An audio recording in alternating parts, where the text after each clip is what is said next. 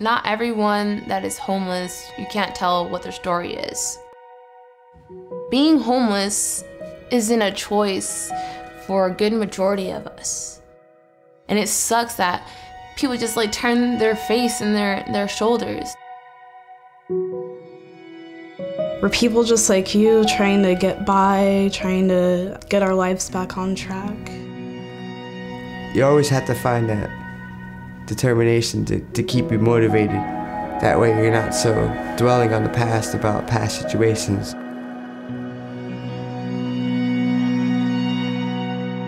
When I first came to New Horizons, I got out of jail. I called them up and I said, you know, well, I'm homeless, you know, I, I need some help.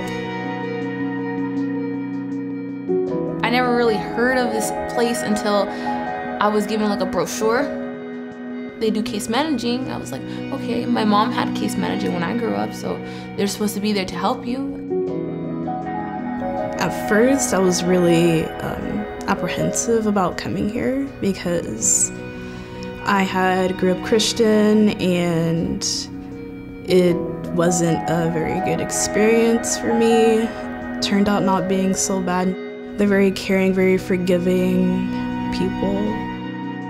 The environment itself is just so good.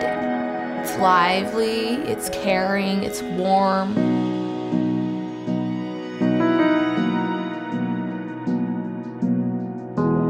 They helped me get into a place when I didn't have a place.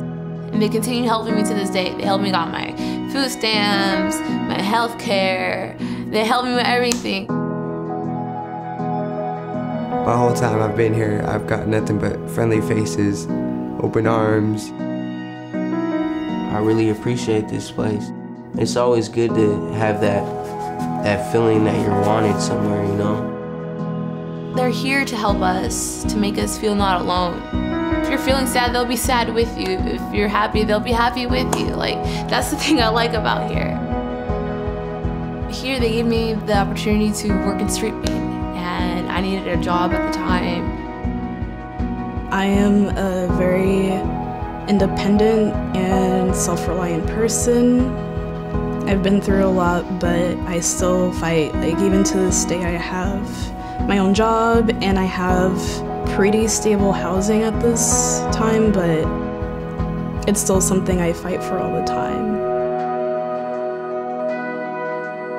I'm lucky I got help, so I'm not in homelessness no more. But I, I still kind of feel like it though. I don't want to get too comfortable because I'm I'm always in this survival mode and I want to I just want to be in a comfortable mode again, you know? Never be afraid to dream so you can make that change and make that decision to get up in the morning and say I'm gonna make I'm gonna make a change and I'm not gonna dwell on the past and and let that affect me today. What New Horizons provide is not only just a place, but it provides guidance. It's up to us, the people who are seeking the guidance, is how we use it. I'm still making my story, you know what I'm saying? I'm you know, I'm not gonna give up. Everybody has a story. They've been through something. They may not show it, they might not talk about it, but everybody has a story.